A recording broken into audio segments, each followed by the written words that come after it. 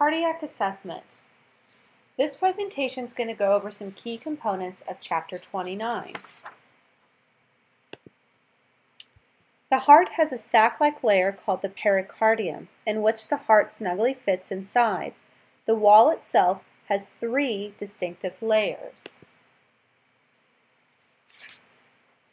The heart is like a well-oiled, electrically primed pump with many moving parts. Think of your car. Ever look under the hood? The big engine that runs the entire vehicle is similar to the heart. The heart is fueled by oxygen blood and is electrically charged. When assessing the heart, a simple mnemonic reminds you what area of the heart you're listening to. It is over that area you can tell whether or not that valve is fun functioning correctly, such as hearing a murmur. The mnemonic that I like to use is all physicians take money. All means you're over the aortic. Physicians means you're over the pulmonic. Take is the tricuspid, and money equals the mitral.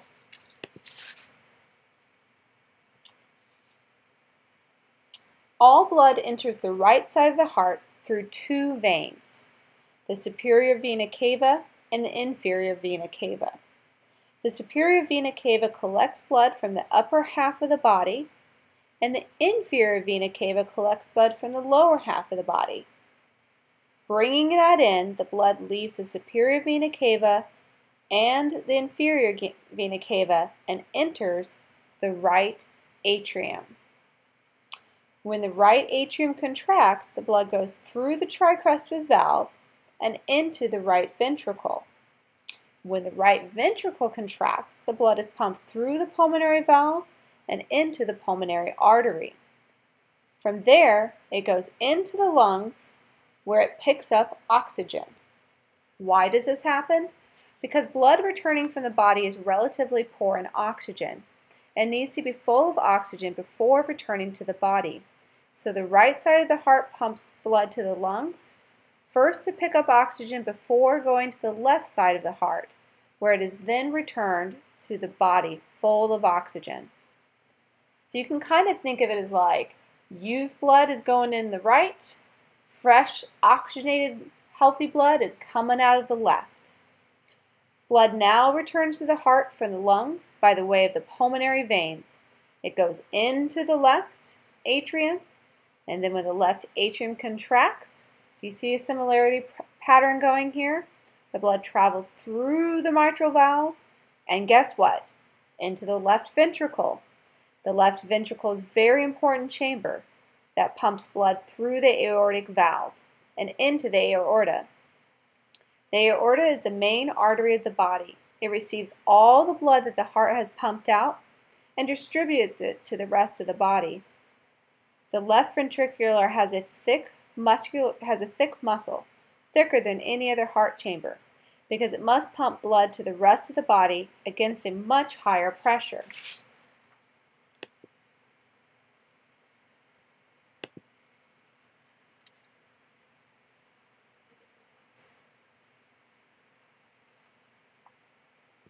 Blood circulates through the body in two main routes.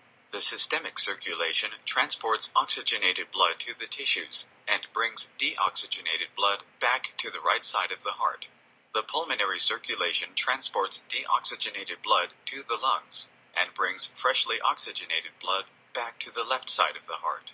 The coronary system is the portion of the systemic circulation that perfuses the heart muscle.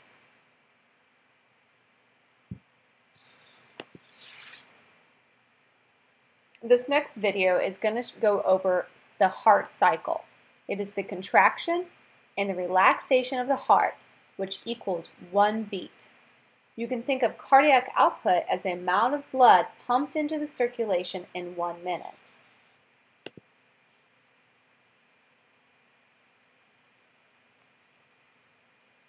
With each contraction of the ventricles, blood is pumped out of the heart. Stroke volume is the amount of blood a ventricle pumps out in one contraction. Cardiac output is the volume of blood that each ventricle ejects every minute. To find the cardiac output volume, multiply the number of heartbeats in one minute by the stroke volume. At rest, the cardiac output for an average adult male is about 5.25 liters, 4.9 liters for an adult woman. Cardiac output increases with physical activity, rising to a maximum that may be 4 to 7 times greater than the resting output. This difference between resting and maximum output is known as cardiac reserve. Heart rate and stroke volume are regulated by the autonomic nervous system and by hormones in the bloodstream. Other factors such as age, weight, and physical fitness also influence cardiac output.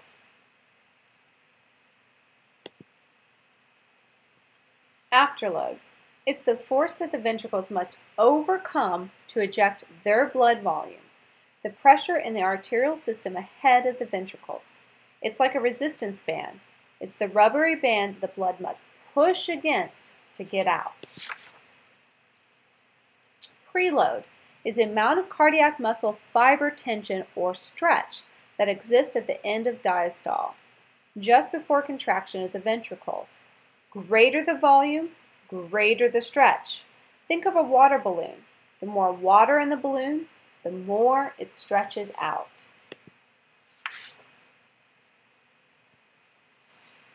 All charged up, depolarization and repolarization of the heart. After the depolarization and repolarization occur, the resulting electrical impulses travels through the heart along a pathway called the conduction system. The impulses travel out of the SA node and through the intra intranodal tracts to the Bachmann's bundle to the AV nodes. From there, they travel through the bundle of His and the bundle branches, and lastly to the Purkinje fibers. This is a great picture showing you the cardiac conduction system.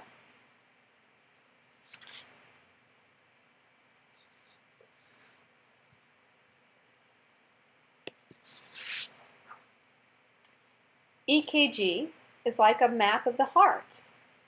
Each, each EKG cycle consists of five waves. Those waves are labeled P, Q, R, S, T. The P wave represents the normal atrial depolarization. The QRS complex, one single heartbeat, corresponds to the depolarization of the right and left ventricles. The T wave represents the repolarization or recovery of the ventricles. There are many diagnostic tests out there. Cardiac catheterization is considered an invasive procedure because they are going to be using a going into the femoral artery or the radial artery and they'll basically be fishing a wire up there to take a look at the inside of the heart.